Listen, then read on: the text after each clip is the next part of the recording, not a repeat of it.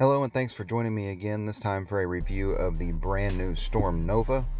The Nova features the Ignition Core and R2X hybrid on the cover. R2X is a formula that Storm has used before, probably most notably on the Marvel Pearl and a Pearl formula. The Nova will be the only ball to feature the hybrid formula stateside uh, that's in the current product line.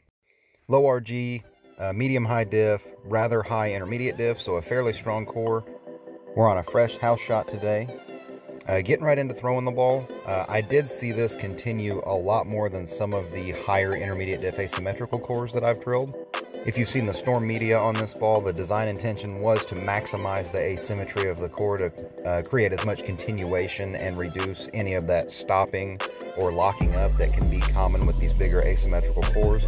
And I think they achieved exactly that here because as you can see this ball, as I get deeper and as my angles get steeper, it continues to pick up and finish and gain traction and face up in the right spot.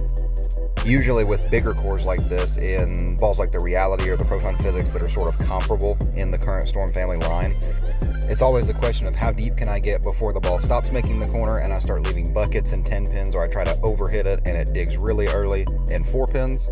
The Nova is quite different in that the deeper I got, the better it looked, which is highly unusual for a dull, uh, higher intermediate diff asymmetric ball. With hybrid formulas, it's always a question of whether it's going to lean more towards the pearl or the solid in the formula. This one is certainly solid heavy. It's very mid laney. It's earlier than the reality for me, and it actually picks up in about the same spot as the Proton Physix, but it continues a whole lot more down lane. This is different than the hybrid formula of, say, the UFO Alert, which rolls more like a pearl. So not all hybrids are created equal, and this one seems to roll more like a solid and picks up in the mid lane really, really strong for me. And it really seems to combine the best of both worlds.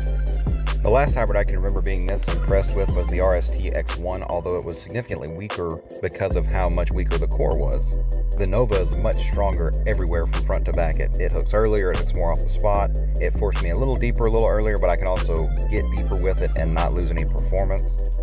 For me, a dull asymmetric ball that I can actually get in and shape is not something I really have in my bag, so I do think the Nova is pretty unique and special in that way.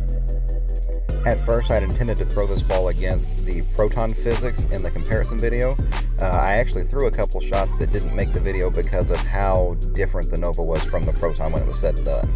My pinup Proton is very slow and lopey off of the spot, and it's also very early and I couldn't even get into fourth arrow with the proton and get it to get back. It was a bucket or a 10 pin. That was kind of the cliff for it. And I get, you know, 25, 26, 27 with the Nova, and it just not only does it come back to the pocket, but it comes back to the pocket, neither hits high flush or high. So I ended up going with the reality because it was the closer shape and the cleaner cover that the reality has actually helped it look a little bit more like the Nova down lane. But as you'll be able to quickly tell here, the Nova is much earlier and much more in the mid lane than the reality is. My reality's got some games on it, it is lane shined. But that cover is fairly clean, and the Nova seems to actually pick up a bit sooner than the reality. Another thing you'll notice in the comparison between the two bowling balls is the reality is a very big core. And so whenever it hooks, it's sort of lopey and slower and smooth, and the Nova is a lot more continuous and round you really see the transitions are kind of chopped up with the reality. You see the skid, you see the hook, and you see the roll, and it's kind of one, two, three. With the Nova, it's a much more smooth, buttery transition from skid to hook to roll that you don't see the steps as staggered and as chopped up like you do with the reality. The difference between these two balls becomes evident as I get deeper. The extra bounce that I get down the lane from the Nova really sets it apart from the reality, which is one of the most popular high performance solid balls out there.